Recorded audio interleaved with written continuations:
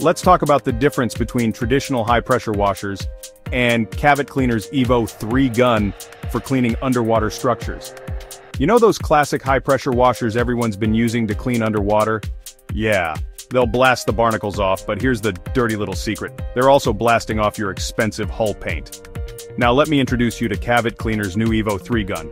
Cavitational cleaning for all types of hulls or underwater structures.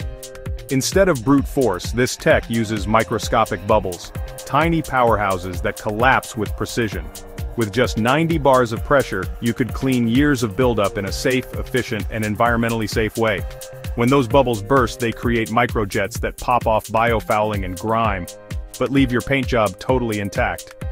Think of it like targeted cleaning, removing only what you want, not what you paid good money to protect.